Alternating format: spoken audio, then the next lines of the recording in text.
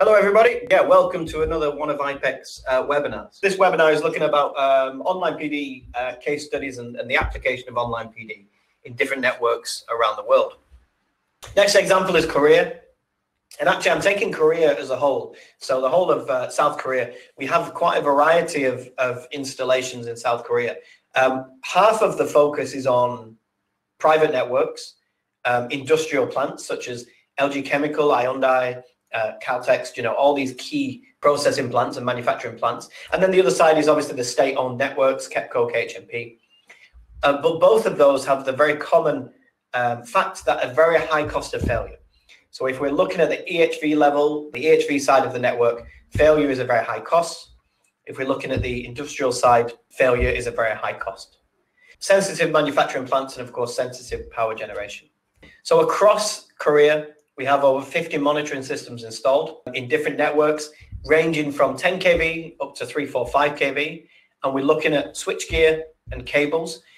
And although, particularly with the industrial and the, the, the processing plants, much of the switchgear and cables are quite new. So when you're looking at the high technology uh, manufacturing facilities that we monitor, a lot of the assets are quite new, but the cost of a single failure, the cost of a downtime is very high and therefore we still should monitor these types of assets. And the same same applies for the EHV level, the power generation level. A lot of these assets are quite new, relatively speaking, um, but they still should be monitored because a failure of a single one of these assets is very, very costly and, and would cost many, many orders of magnitude more than it costs to implement a monitoring technology.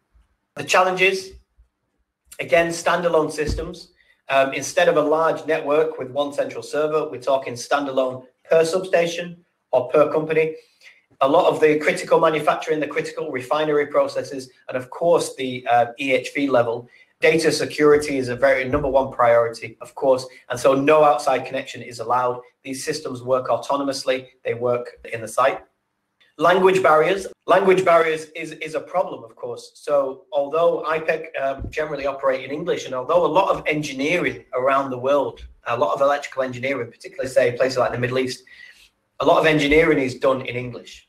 In certain territories, China, Korea, Japan, the language barrier tends to be a problem. The customers conduct engineering in their local language. And so the way we address with that is firstly, we, we make sure that we have a local partner, a local distributor in all of these territories. And that, that local distributor, we train up to make sure they're PD experts, just like IPEC. So if we don't have a, an office there, we have a local distributor. So they speak the local language, of course, culturally, and uh, they understand the way the business is, is conducted, and they speak the local language with the customer. So we make sure they're trained up, we make sure they're local.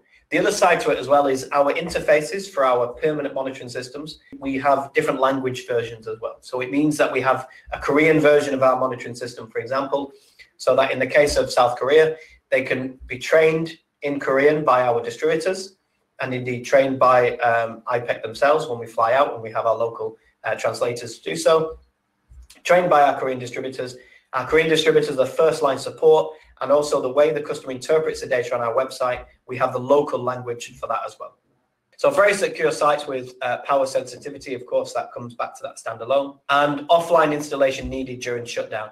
I mean, this is the case for a lot of the modern switchgear where sensors may need to be installed inside cable terminations. Often shutdown needs to be scheduled. And so actually with processing plants, what we tend to do is time it with uh, with production facilities. Sorry, we tend to time the installation with the planned shutdown of assets for maintenance. They tend to have quite robust maintenance techniques and maintenance uh, schedule anyway. So we plan the installation with maintenance, and we make sure that our systems are very quick to install. And indeed, we only need to install the sensors uh, during a shutdown. The rewards, of course, critical supplies um, are being monitored. We've got many, many in South Korea. We've got many, many good case studies of, of PD detected and PD repaired. The nice thing about the critical power supply means that as soon as any PD is detected, the customers are generally very keen to very quickly find the problem and repair the problem. And so it means we have a higher proportion, if you like, of very good case studies. And then the other benefit, the other reward customers have experienced is because, like a lot of uh, countries in South Korea, you have a lot of very large group companies. So maybe one company is, is running chemical processing plants as well as high technology production facilities. And so it means that there's a lot of crosstalk and a lot of companies within the group um, talk about the technology. So we've managed to install permanent monitoring systems in in one industry and then quickly install that in another industry because it's owned by the same holding company, the same group. So we get that transfer of knowledge across the across the groups. Saudi Arabia, we began 2013 onwards working in Saudi Arabia. At first, a lot of the application were, was uh, spot testing, handheld portable instrumentation. More recently, permanent monitoring technology, monitoring 13.8 kV, 69 kV, primarily focused on the switchgear. The customer's main concern has been switchgear. However, because if you're already installing a monitoring system to cover the switchgear, it's not too much to add on the ability to also monitor the cables. So although the customer's priority is switchgear in this case, uh, cables have also been monitored. So at the moment, we have over 24 substations with our ASM monitoring systems. You see it here. The sensor cables in this case are dropping down below, so it looks nice and neat and tidy. Uh, sites across uh, Dammam, Qasim, Riyadh, so key sites in the kingdom. We've got lots of case studies from uh, PD investigations and PD locations.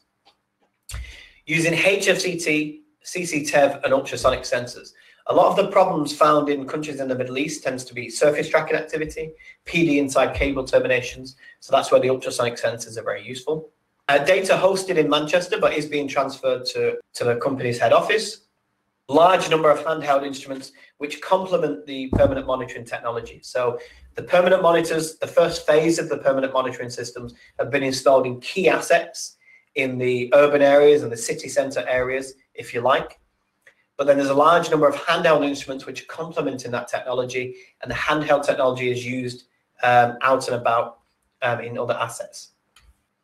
So across Saudi Arabia, Dammam, Riyadh, Qasim, uh, looking more closely. So across the city, across the key assets in Riyadh, the key assets in Dammam, both the industrial zones as well as the, the city centre and other assets in Saudi Arabia. Challenges then, the first challenge, environmental. So naturally there's the, the challenge of the environmental aspects. Very hot, very humid environments. Not always does each substation have efficient air conditioning. So you need to make sure your systems are robust. They can handle those harsh environments. Installation location of sensors. Some sensors can be installed on the outside, but other sensors need to be installed in the cable termination. So similar to the last example, we need to make sure we have a planned shutdown for cable uh, for sensor installation.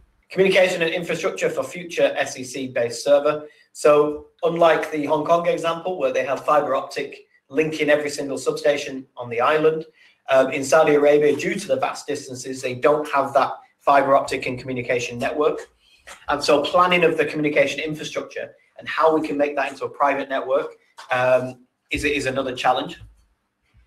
Um, again, due to the vast um, spread out of engineers, training, uh, an efficient training program is essential.